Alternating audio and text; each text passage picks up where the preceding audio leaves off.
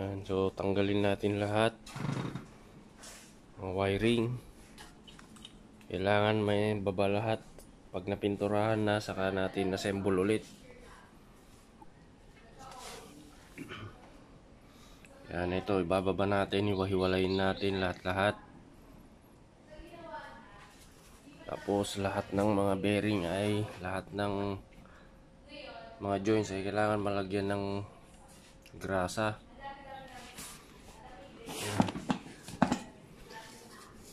So ito kailangan malinis natin lahat-lahat.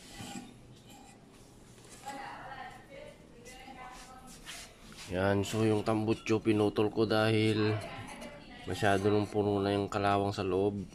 Kailangan malinis din. Yan. Mas maganda pag malinis lahat.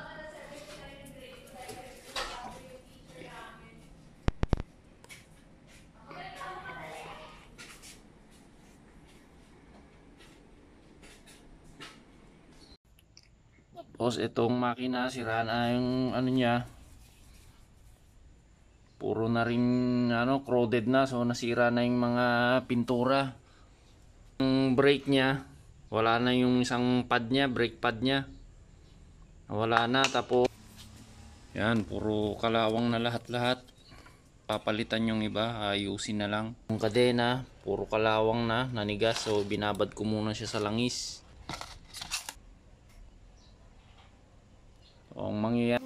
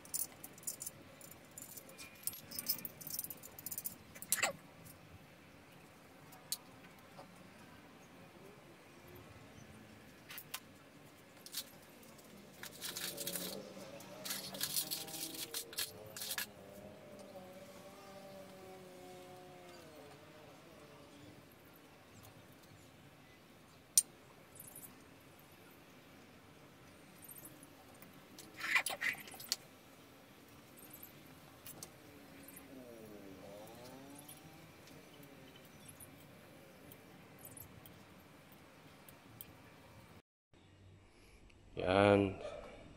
So ito na yung motor na disassemble na. So ito yung makina, kailangan mapinturahan din to, maging maayos lahat, maging malinis. So papalitan natin siya ng pintura. Tapos ito yung gulong. So lahat ito, yung mga kalawang na to ay lilinisin. Di ko muna tanggalin yung isang mga stand saka yung isang gulong. Para pag na-steel brush siya, mas madaling linisin. Nandiyan lang siya. So sa pag nalinis, saka natin tatanggalin at magpipintura na. Tatanggalin tong mga stand, saka magpipintura. Magpa-primer. Tapos pati yung gulong. So ito, sa tagal ng sa limang taon na naka-stock siya. So kaya binahayan na siguro nilamon na ng ano kalawang. Yan oh, sobrang kalawang na. O ayan, kinain na ng kalawang, manipis na siguro to. O kailangan steel brush to. Para maging maayos lahat. Yan. Kailangan pinturahan ng maayos bago i-assemble ulit.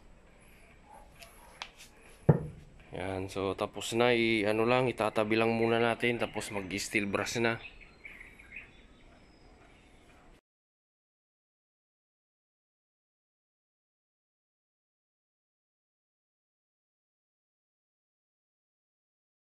Masyadong mahal. Yung pinturahan ng ansal para mas makinis ang pintura.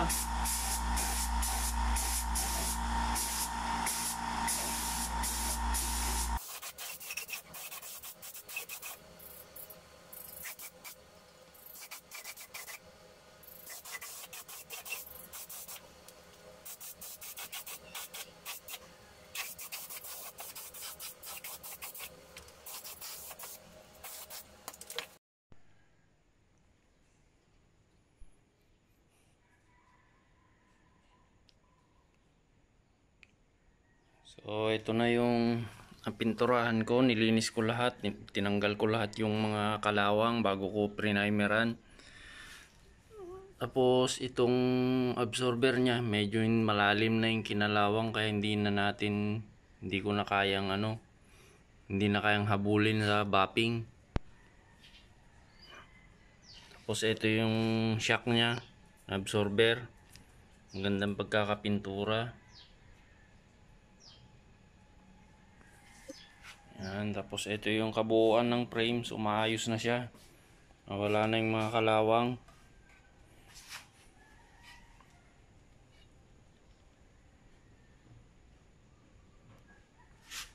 Yan, so ito naman yung absorber sa likod. Nilinis ko rin yung absorber niya, binaklas ko. So yung isa pa lang ang nakakabit. Yan.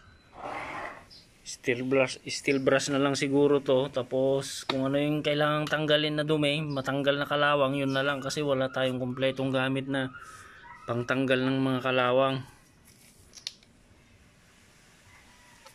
So kung ano yung kayang madukot na dumi, uh, kalawang, yun na lang ang gagawin. Tapos si primer na lang siguro. Para kahit papano mas malinis naman. So steel brush lang natin to. Para matanggal yung dumi. Linisin lang ng konti.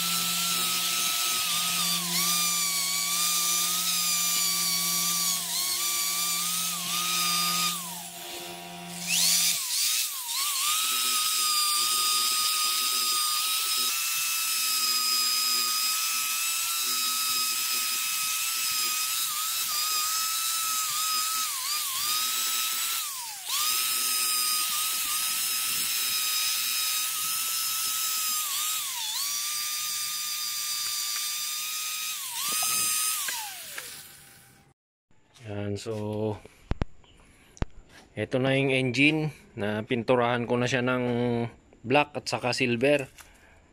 So ito yung kinalabasan niya pagkatapos kong linisin, pininturahan ko na ng black at saka silver.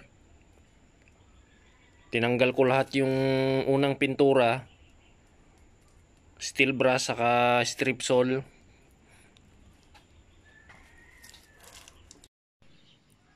Yan, update tayo mga paps. Yung re-restore kong CPI. Yan, so ito na yung makina niya. Naikabit ko na rin. Pati yung throttle cable, bumili din ako ng naghanap ako ng kaparehas niya kasi walang pyesa ng throttle cable. So ang kagandahan ay naging parehas sila ng Honda Wave 100 Alpha. Ito yung tangke. Yan. Tapos yung mugs niya.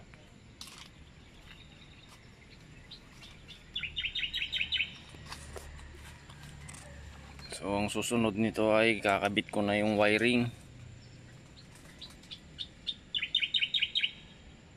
Yan. Malinis na malinis ang pagkakapintura nito kasi dahil tinanggal ko lahat yung unang pintura, existing binalatan ko talaga bago ko siya pininturahan ng iba, primer ko, saka ko siya pininturahan ng ansal. Para kahit mainit yung makina, hindi siya matutuklap. Yan. Pati ito nilinis ko rin, binaping ko sa loob. Yan, ito yung tangke.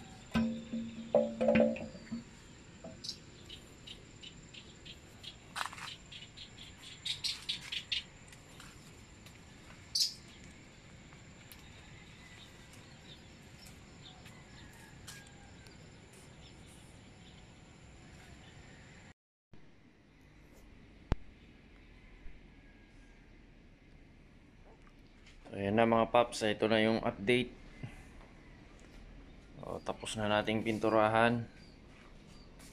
Parang bago na, yung, yung side mirror na lang ang kulang kasi yung maliit ang thread. 8mm lang yung nabili ko kaya bumili pa ako ng adapter. Yan, so nagamit ko na ng mga ilang araw.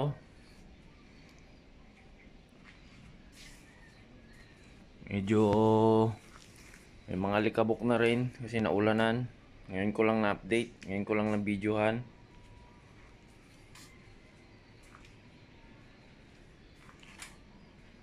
Yan, so try natin paandarin. Yan. So ang tambutso niya ay pang wave. Kaya tunog wave din. Yan, tahimik pang makina, ayos pang takbo. So lahat ng gauge niya rito ay gumagana. Kaso lang yung ilaw ay malabo na, kulang siguro sa bapping to. Or palitan na lang.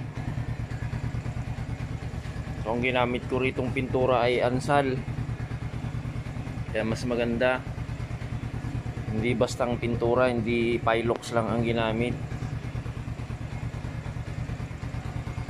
May compressor naman tayo kompleto. So ito ang makina niya, malinis. Bagong pintura, pininturahan ko ng silver. Yan, so ito na lang ang hindi ko pa na ano, baka pwedeng pinturahan na lang din ng silver. Saka ito ko, pinturahan na lang din ng black. Yan. Sayang din kahit CPI lang, mapapakinabangan pa to. O kaya baka mabebenta ko pa ng 10,000 to.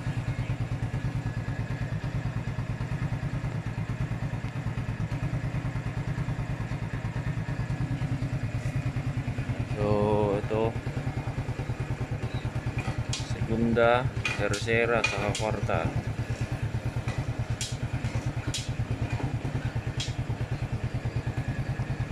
Yan. So, magandang ano, overall maganda naman ang outcome nung project natin.